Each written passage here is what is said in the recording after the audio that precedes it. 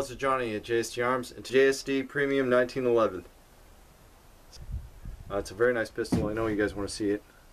Like a lot, a lot of my builds, I use the whole grip. It's got the extended magazine release. It's got the whole grip. It's got chrome, uh, chrome screws, chrome trigger. Has a trigger job done. Uh, chrome serrations. I well, I polished them. Polished serrations and polished top to the muzzle brake. And uh, just standard hammer uh, high quality parts kit. And uh, also has a flared mag well as well by Wilson Combat. A lot of the parts using this are Wilson Combat. I can't remember which ones are which but they're all really good made parts.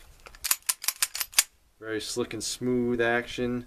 Very tight. You can't really wiggle it at all not like the Colt. I've had a Colt before. Well, I got my hands on a Colt before, and compared to this, it's not as good because Colts aren't hand fit. The ones that are hand fit are uh, there's a few Wilson Combat makes them.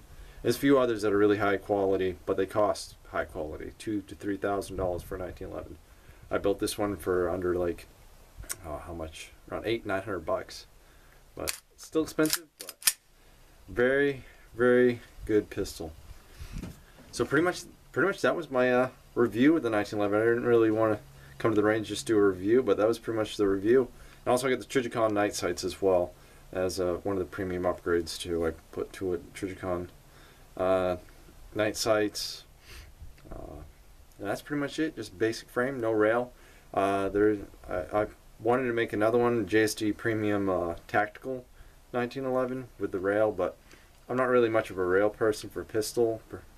I don't really think you really need it there unless you want a laser or something high speed or a flashlight. But other than that, this is a really good pistol, 1911 JSD Arms Premium.